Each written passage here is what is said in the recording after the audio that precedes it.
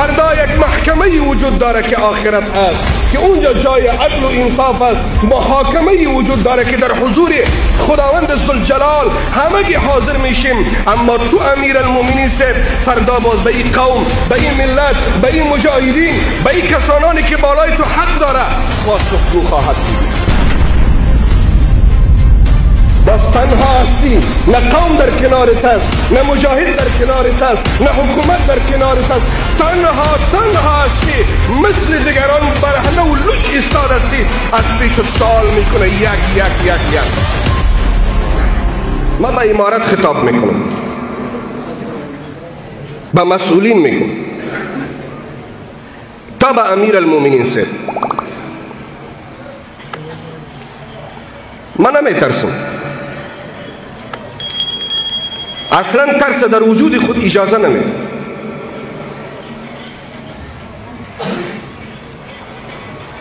ما به مجاهدین میگم ای مجاهدین. مجاهدینی که واقعا در شرایط بد در شرایط بسیار دشواری در شرایطی که قوم مردم ملت پدر مادر برادر از همه ما و شما بیزاری می‌کردن و فرار می‌کردن. در قریه ها جا نمی‌دادن در مسجد جا نمی‌دادن در مدرسه ها جا نمی‌دادن نفرت می‌کردن. در او شرایط از قوم خود گذشتیم از پدر و مادر خود گذشتیم از مردم و ملت خود گذشتیم. با امیر المؤمنین سے ملا محمد عمر مجاهد ولی عصر رحمه الله بیعت کردیم. وقتی که در زندان بودیم با اختر محمد منصور صاحب رحمت الله تعالی علیه شهید که با آن واحد شدیدیم و امیر تعیین شدن و بیعت کردیم. وقتی که اونها شهید شدن با شیخ حبت الله صاحب امیر المؤمنین صاحب بیعت کردیم.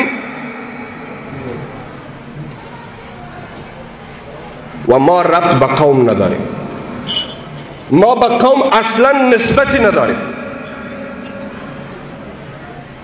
ما در اون شرایط با تو بیعت کردیم که قوم از ما نفرت داشت. قوم بر علیه ما قیام کرده بود. قوم ما را به کو به کو غار به در دنبال و در سراغ ما بودن. اما ما و شما در او شرایط بد همه را پشت سر گذاشتیم اطاعت کردیم بیعت کردیم. اما امروز مجاهد جان مایوس نباش. مایوس نباش.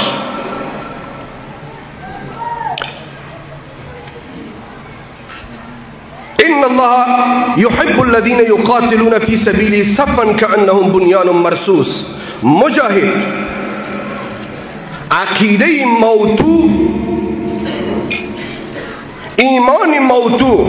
نباید مثل شرخاک باشه که به اندک ملاحظات و مشکلات نظام مثل شرخاک وری بریزه همان قسمی که الله سبحانه و تعالی با قرآن عظیم شان عقیده یک مسلمانی واقعی یک مجاهد واقعی که در صف مسلمان ها ایستاد شده در مقابل دشمنان اسلام می جنگه بنیان مرسوس تعریف کرده.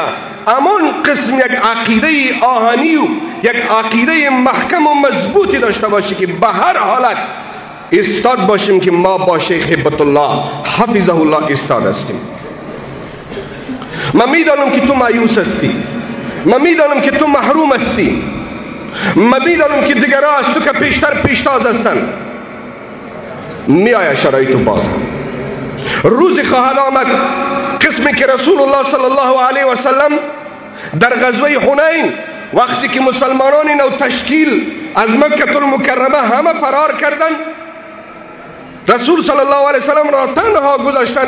با عباس صاحب رسول صلی الله علیه وسلم چی میگه؟ عباس اصحاب حدیبیه صدا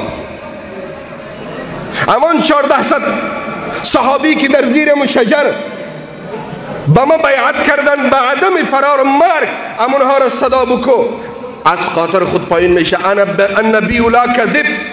انا ابن عبد المطلب شمشیر می‌گیره به چشم کفار خاک میاندازه. ان شاء الله العزیز به جرأت میگم این افغانستان است.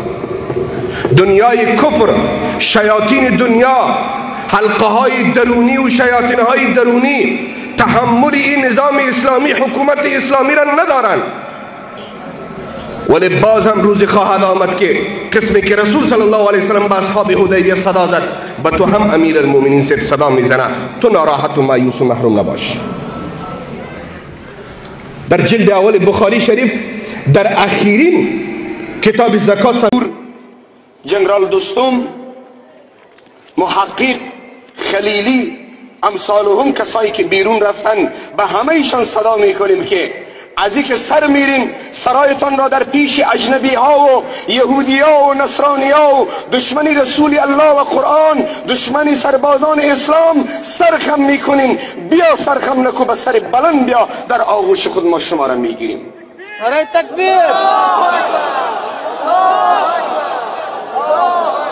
ملت در خدمتت وطن در خدمتت آغوش وطن آغوش ملت آغوش سربازان امارت اسلامی و بزرگان امارت اسلامی. به شما رهبران همه باز هست. پس چرا شما افغانیت و غیرت و نام مسلمانیتان را زیر سوال می‌برین؟ سرهایتان را در پیش اجنبی ها و بیگانه ها و در پیش دشمنان دینی سرخم می‌کنین چرا؟ من افتخار می‌تونم افتخار می‌کنم که پای دست پیشانی یک اجنبی که بیرون از افغانستان است ببوسم خاک و پای دست و پیشانی یک فرزند افغان بوسم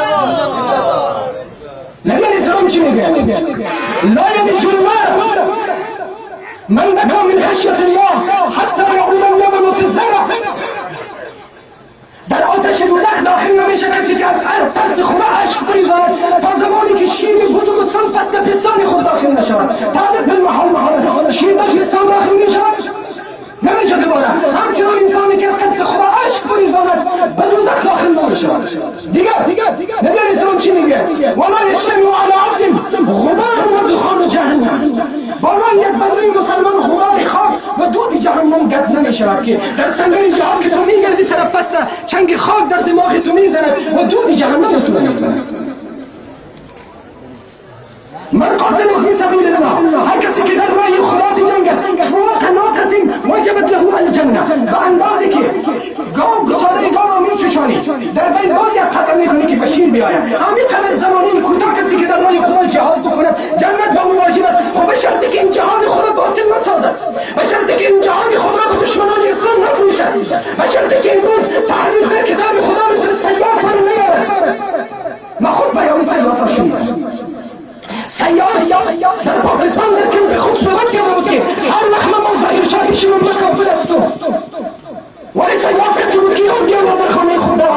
کرد پس فتوای سیار سیار چی میگوید اخونا دیگر دیگر فالذین هاجروا و اخرجوا و اوذوا فی سبیله این آیت را نبي عليه السلام شو من أحرم فرسا في سبيل الله إيمان بالله وتصديقا بوعده فإن فإن شرعه وليه وروثه. وقوله في ميزانه يوم القيامة ثم أسلمه وبشار أزرق یک مجاهده که آسم را به خاطر خدا بسته می کند گوش و سرگیر و کاری از در اعمال شما نمی شود جهاد تو مخیف نیستیم هر روزخور جهاد بکند هر قدرت خواه جهاد بکند هر دنیا خواه جهاد بکند هر آزاد جهاد بکند ایمانتان مثل ایمان ساحران فرعون باشد. ساحران فرعون که به تعداد هفتم هزار وقتی که با همراه حضرت موسی علیه السلام مبارزه میکند وقتی که موسی عصای خود را میاندازد ما چی میگوید قالوا آمنا برب موسی و هارون برب العالمین. ما برب موسی و هارون برب العالمین ایمان آوردیم صدق صدق فهمید که موسی بر حق است. فرعون چی میگه؟ فرعون چی می‌گوید فرعون می‌گوید که آمنتم قبل ان آذن له. شما ایمان آوردین پیش از اینکه من اجازه بدم. انه لکبیرکم الذی علمکم السحر. پس همین موسی هم یک جادوگری بازرگفت که شما را تعليم دارة قال فرعون چی میگه؟ لو قطعن ايديكم وارجلكم من خلاف. ولا اسلبنكم اجمعين despite all